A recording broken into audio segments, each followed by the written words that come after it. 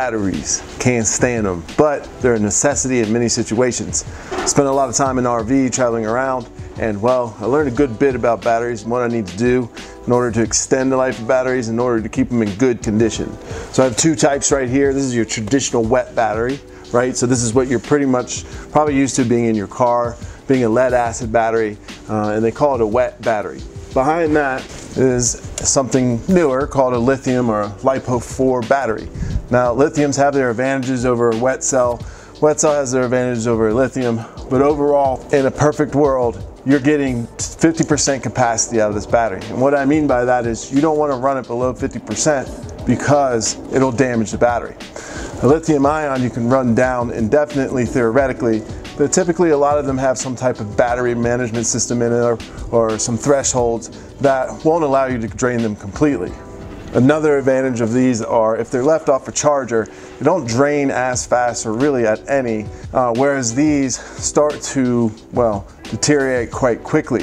They'll start draining power and in a situation in an RV, you know, that's not that great. So this is about, what, 80 amp hour battery. This is 100 amp hour. So really out of this, you're only getting 40 usable amp hours before you're causing damage. This, you'll get the whole thing. Another advantage is they're about a third less in the weight. So this battery is much less in terms of weight than something like a wet battery would be.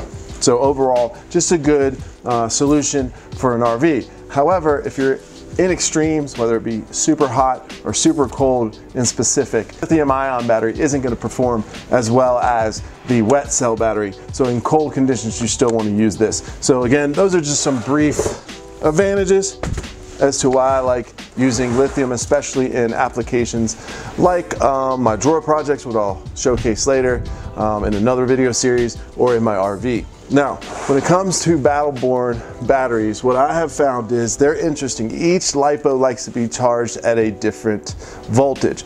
Most LiPos want to be at about 14.8 volts when they're going through their absorption phase.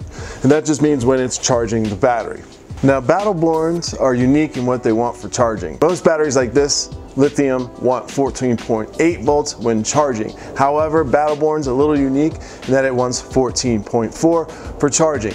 Now during the float or storage, it wants 13.6. Now, because of that, it makes it very hard to find a charger. So I'm a big fan of Victron chargers. This is a 15 amp Bluetooth smart charger. And one of the cool things about this is I can use two types of charging to get what I need for the Battleborn. So with this particular charger, if I'm charging at a normal charge, that's gonna give me 14.4 volts. Now, technically this would be used for something like a wet battery, but because this Battleborn in specific wants 14.4, this Victron in the normal charge works really well. Now I'll charge that normally all the way through the different phases in the bulk and the absorptions phase in order to give it what it wants. And that's 14.4, nothing more, nothing less. The only problem is it, when it moves to float or it moves to storage at normal, it's gonna be about 13.8 volts. Now I don't want that because what the Battleborn wants is 13.6. So once I go into the float stage, I simply just move it over to the lithium ion phase. Uh, it will start absorbing again, but you'll notice on the application, there won't be any amps. So it just sits there for about 30 minutes, then it moves into the float and it keeps that float at 13.6. So I highly recommend this Victron charger. Links to everything, not affiliate link. I just wanted to get this out there because it can be confusing. I couldn't find anything else online uh, about lithium batteries and what they needed other than from the manufacturer. It was really difficult finding the right charger, but I really do, like I said, tr trust Victron, uh, both in chargers, uh, solar controllers, pure sine inverter that I'm using in another build uh, that I'll showcase in a later video, but not paid by them, not endorsed by them. I just like their products. Bluetooth application here as well so you can monitor all the things I'm talking about. Uh, and if you have a Battleborn, this is the charger you want. So with that, I'll see you next time. Shoot.